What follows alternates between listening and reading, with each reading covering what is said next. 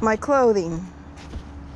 Um, because I do still work. If I decide to stay out on a work night, then I've got clothing. It's not all wrinkled either. I just hang it up on the top of this rack.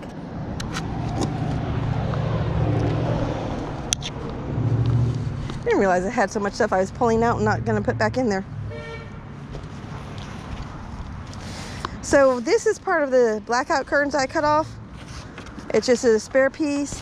I go ahead and throw it over the top of my ice cold cooler, even though I have that on it. Love this cooler. Whew, smell, food smells good.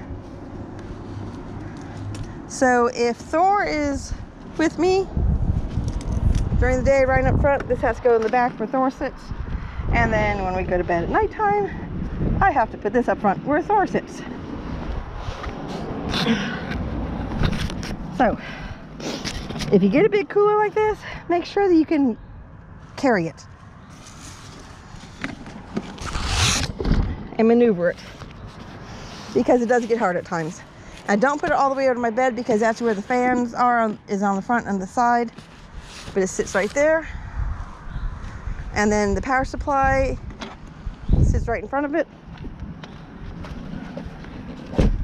I can plug the cooler into my outlet down here, which I'm not gonna do because I'm going straight home it's gonna come inside. I can plug it down in there so I can run the cooler while I'm driving, or I can plug it into here.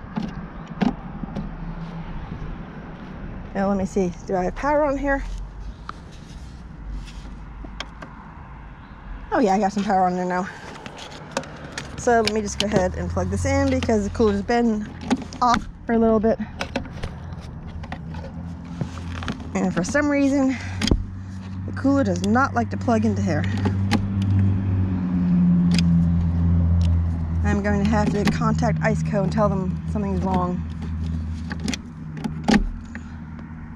Oh, it's not working. But I'm almost home.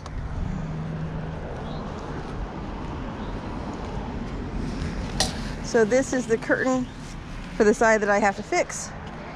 So for now, instead of being able to put it on there, I just put it next to it. Maybe. Oh, my clothes are in the way. Hey, that helps.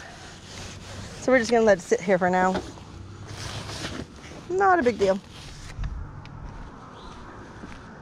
I actually have this huge purple tablecloth that eventually I am going to throw over the top of all this and hide it so people can't see inside and look at all my baskets, but for now they can sit there.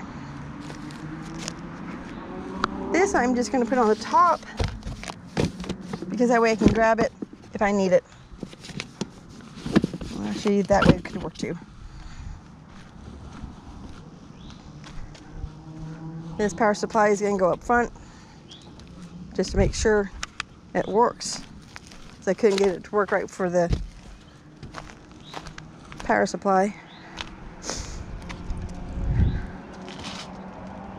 And this I put across the top over here.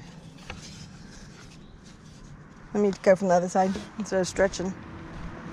Um, it's just something that if I want a tray, if I'm eating in here or something, I can put the tray right there and it stays relatively. And basically that's it. The last most of the stuff I'm just gonna take out.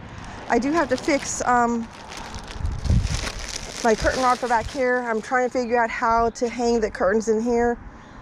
But for now, all I can do is this. And I have bent the curtain up, the curtain rod up, smashing it into the hatch. So for now, all I do is I hang it here. I can pull the curtain over while I'm driving so I can at least see out half of it.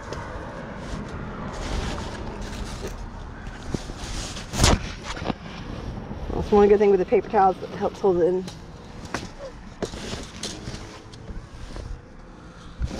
Tuck this up. That is it. Like I said, I'm gonna have to fix this up Dirty dishes, dirty clothes, all that stuff is coming out. It's not going. Done. Everything is in here.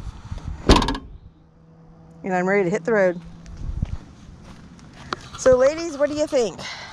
It's a little bit on the cramped side for just me and my dog, but it's home and it looks better with the bed made instead of unmade like that. I just didn't feel like taking the time because I've talked too much as it is, which I'm not really a talker. So there you go. There's my little mini home. Hope you enjoyed this. Peace out.